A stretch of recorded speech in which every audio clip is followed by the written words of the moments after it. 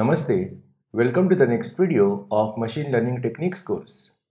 In this video, we'll implement gradient boosting algorithm from scratch.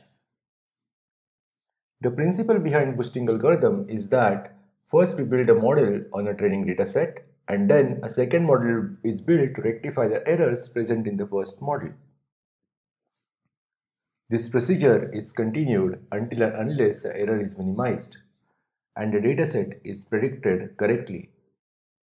In particular, we start with a weak model and subsequently each model is fit on a modified version of the original dataset. So here, a weak learner is referred to a model that performs at least slightly better than a random model. Decision trees are generally used as weak learners in gradient boost. Unlike AdaBoost, where decision trees with only one level or decision stumps are used, the decision trees used in gradient boosting contains some 3 to 7 levels. Let's look at the steps involved in gradient boosting. In this Colab, we implement gradient boosting algorithm and show how it works for regression. Following are the steps that are involved in this process. We first make a guess for y-train and y-test using average value of y-train. Then we calculate residuals from the training dataset which is the difference between the actual value and the predicted value and let it be R0. Then we fit a weak learner to predict R0 from, from the training set and this is called as F0. The function is called as F0 the incremental prediction for y is obtained as the original prediction y, y train p0 which was obtained with the first guess plus alpha times f0 times x train and this is the residual prediction that we get from the weak learner. And here alpha is the learning rate and we perform the same computation to get the output for the test for the test examples. We repeat step 2 through 4 until we reach the number of boosting rounds. So let us implement boosting and for that first we'll import bunch of Python libraries like NumPy, Pandas, Matplotlib and Seaborn. Matplotlib and Seaborn are imported for plotting utilities. We will need to run several iterations so we'll so we create a function to implement grad boosting. So there is a function grad boost that we implement that takes model, the training feature matrix, training label vector, the test feature matrix, number of boosting rounds and learning rate as arguments. So learning rate is a float value and it is set to 0.1 by default.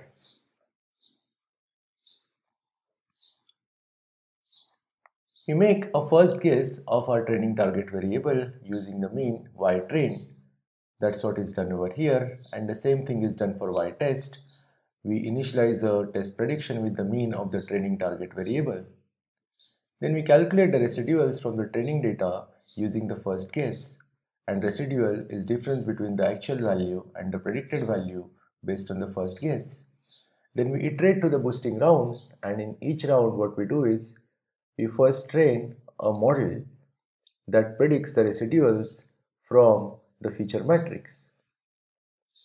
And then we increment the prediction for the, for the training examples as y hat train plus learning rate times the model prediction of the residual. The same calculation is applied on the test set and we get new predicted values for training and test set. We again calculate the residuals for the training and repeat the process. And the process is repeated for the preset number of boosting rounds. So let's create a synthetic data set on which we'll apply the gradient boosting algorithm. So we make a synthetic data set using make underscore regression API from sklearn.datasets. We generate datasets with 1000 samples and 20 features and 15 of these features are informative and there is a single target variable in this dataset. First 800 examples are used for training and The remaining 200 examples are used for test. We'll use decision tree regressor as a weak learner with depth equal to 3. We use squared error as a splitting criteria in this decision tree regressor.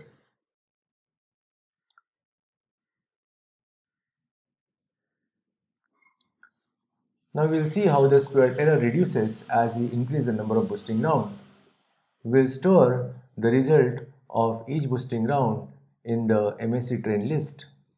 So we call the grad boost function and we store the, the result of the mean squared error in the list. So we perform 100 rounds of gradient boosting. Let us plot the reduction in training error with respect to the number of boosting rounds. So here you see the plot of number of boosting rounds on the x-axis and training mean squared error on y-axis. As the number of boosting rounds increase, the training mean square error is reducing gradually.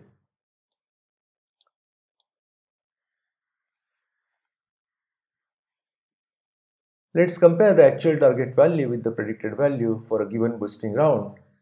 Initially, we consider mean of the training label vector as a prediction.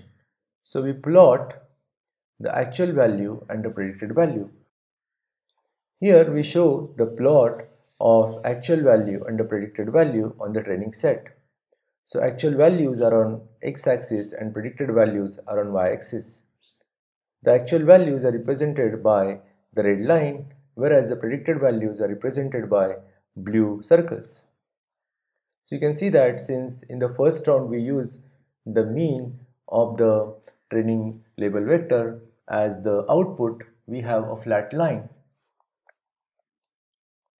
after 10th boosting iteration, what we see is we have seen the prediction getting shifted from a straight line to, to some, some structure which is elliptical in nature. Over here you can see that in this particular figure. Then after 100 boosting rounds, we see even better performance where the predictions are now closely matching with the actual values. And after 500th boosting iteration, we see that the, the actual values and predicted values match very closely. So in this video, we implemented gradient boosting algorithm and demonstrated its utility in the regression setting. We looked at how the training error goes down as the number of boosting uh, rounds increase we also demonstrated that how the how the actual values and the predicted values come close to each other in other words their difference decreases as the number of boosting rounds increase